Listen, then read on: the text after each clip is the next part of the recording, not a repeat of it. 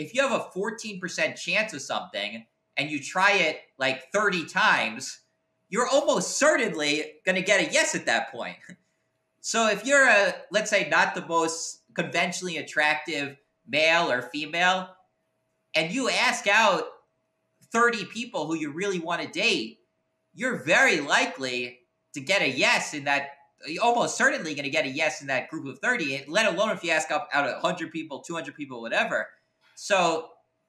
if you can kind of get over the fear of rejection from the world and put more stuff out in the world you're going to get a lot luckier in life. Uh, that's kind of i would say the simplest uh, life hack is uh, life luck hack is just uh,